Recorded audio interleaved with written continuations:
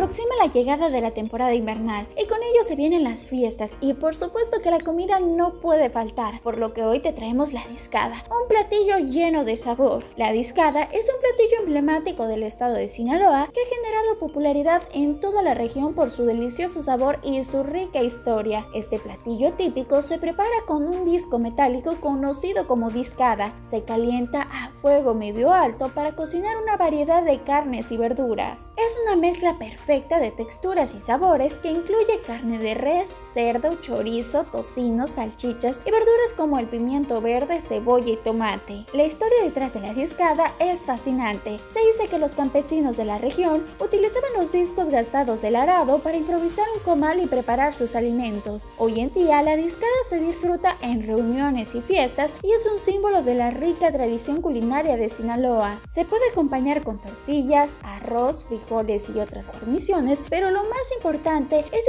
en compañía de familiares y amigos. La discada sinaloense es un platillo típico que combina la rica tradición culinaria de Sinaloa con la hospitalidad y generosidad de sus habitantes, haciendo de ella una experiencia culinaria inolvidable. Jessica Santiago, Mega Noticias.